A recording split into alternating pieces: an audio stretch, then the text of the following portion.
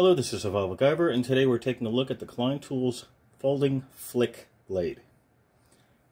I'm really careful to say flick blade because it's awfully close to spelling of some other word that I use a lot, which I won't say on the channel, but it's F-L-I-C-K-B-L-A-D-E.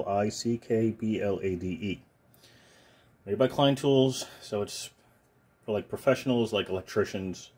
That's who they have in mind, I think, is electricians. Um, but other than that, it's just a utility blade with a driver on it, and it's got a couple of cool features about it. So we'll take a look here. So the casing here is plastic. See, I got a little bit dirty already. It's got, this is the lock and unlock for the utility blade to uh, let it whip out or flick out. The driver at the top, you just pull out to get it out. And I'll show you some features about that shortly. It has a really nice, strong pocket clip. It's got a lot of tension to it. Um, also has a lanyard hole if you need it. There's the driver end, so you can take a close look at that. And there's a little bit of jimping kind of at the top of the utility blade, make it a little bit more comfortable and safe to hold. So how do you open this? It's not assisted. It's not an assisted opening, so it's not a spring opening. Uh, what you're going to do, it's real easy. Sorry, sneeze there for a moment. So what you're going to do is you're going to press down this button here and just let it drop. Now, cool thing about this is, if you just wanted to open it, you know, let go and open it, pull it out manually if you like. The first place it will stop is there. That's 135 degrees. So if you need to get into drywall or you're taking care of something that you need to on an angle like that, where you get more grip, almost like almost like a pistol grip kind of thing. Um, you have 135 degrees, and if you press the button again and push, it'll go to 180 degrees. So 180, 135 degrees, and of course, you can click this open and closed many times as you like. Now, little thing here to notice, it has a wire stripper.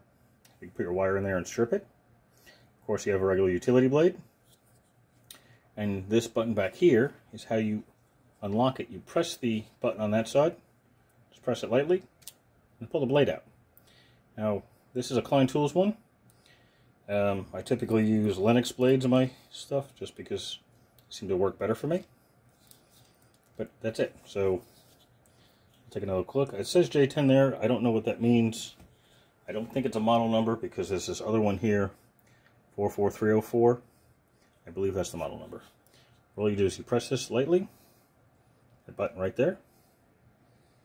I'm trying to be careful because I can't actually see where my hand is. The camera's in the way. Just press, and it comes right out. Unlike some of the Gerber products I've done. So, that's pretty solid there. Let me go close this. And there we go. On the back side, open this up. 90 degree. You have, I think it was 135 degree, 180 degree. So that's kind of cool. You have the ability to move that out. However, there's some good and bad about that. And I want to bring that to your attention before you decide to try to fiddle with it a lot.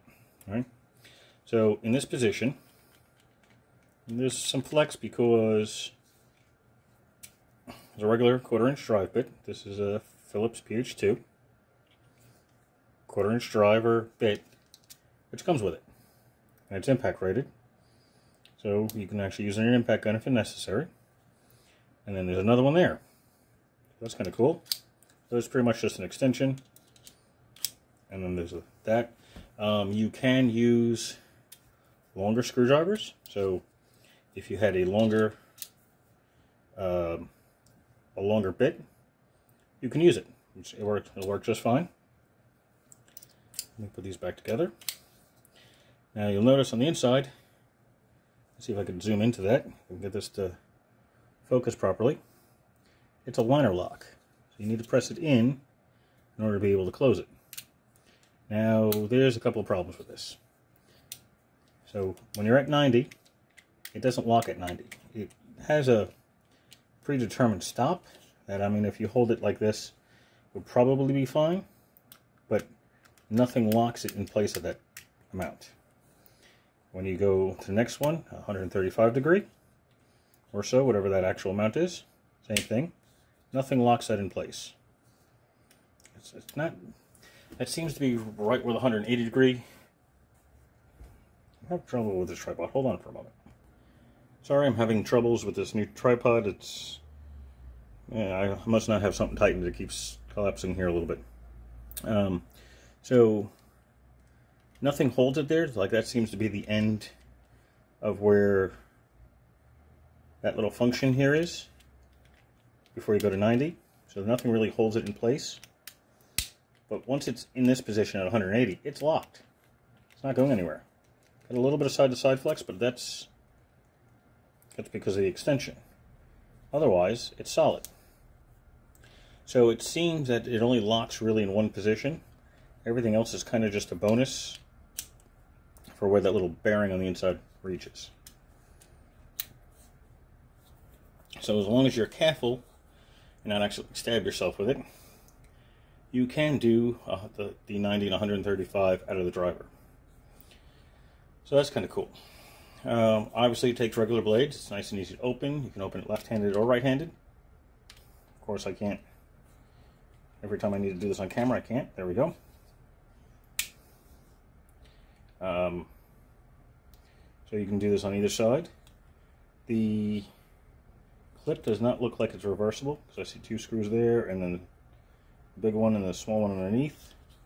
There's the big one and the small one underneath and it doesn't have the revision to move the clip as needed. So mostly a right hand person tool but you can open and close it with your left. You just gotta have stronger fingers than I do. And that's about it. So it's a cheap blade. It's about, I think I bought this on sale at Lowe's for about 10 bucks, 10 or 12 bucks, something like that. Uh, typically goes for about $20 on Amazon, and there will be a link in the description to Amazon if you're interested in it. Um, I'm not affiliated with Lowe's, so I'm not going to put a Lowe's um, affiliate link because I don't work with them, and for things I've done in the past. But um, keep an eye out. Uh, Lowe's already had one sale on this already for really, really good price. Um, or you could just get it from Amazon if there's no Lowe's Home Improvement near you. Um, they do see them go on sale on uh, Amazon quite often.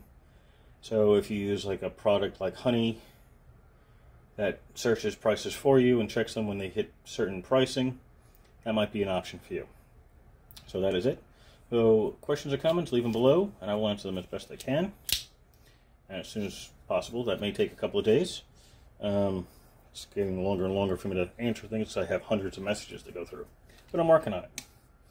And that's really about its overall length that way. It's pretty light. Um, I don't have the actual weight on it. Uh, overall length is six and a half inches. It tells me in the item description that it's 0.32 pounds. So, is that about six ounces? Something like that. Um, not bad. It, it's not. It's not a horrible tool. Uh, so if you just need something quick and reliable, and you don't mind the driver being a little on the weird side, this will be fine. I'll just throw this in maybe emergency toolkit in the back of the car. It's actually the other reason I got it because it's orange. It's easy to see. So if I have to cut like a radiator hose or open up a radiator clamp or whatnot, I'll just have a basic driver bit set with me and now I have an extra tool as needed to fix the car on where I'm stuck. Um, so that is it. So thank you for watching. Questions or comments, leave them below and I will answer them as soon as I can. Uh, please like and subscribe if you haven't already.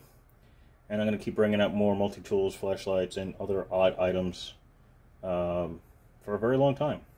Thank you for watching and have a glorious day.